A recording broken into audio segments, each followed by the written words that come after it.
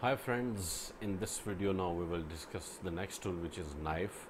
So knife can also cut the shapes like if we create a shape something like this and then if we select knife tool.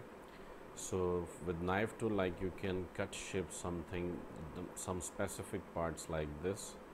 You can see now if you select selection tool so you can see this is separate this is separate this is separate and also this is separate so like this we can uh, uh, cut the shapes and now these are separate. So we can select and we can change the colors.